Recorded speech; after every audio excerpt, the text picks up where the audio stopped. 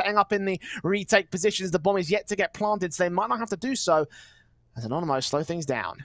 Yeah, just try and see if they can force out an over rotation from DeathZz. Try and see if he can get him out from that market door or window position. Recovering this bomb and getting it planted is going to be difficult. They do have a molly and a flash to work with on the T side. And it's coming in with that flank. Snacks go for that plant. Snatchie may have been spotted there at the edge of the bench. Stacks has caught a shoulder. Alex tagged up to 61 now, bringing things roughly in line as Alex goes falling. It's all on DeathZz now. One versus two. Flash is going over. Snatchie caught off. One on one now. Snacks. Laying up behind the pillar. Him. He transfers that crosshair very quickly towards the man and gets the second round for Movistar.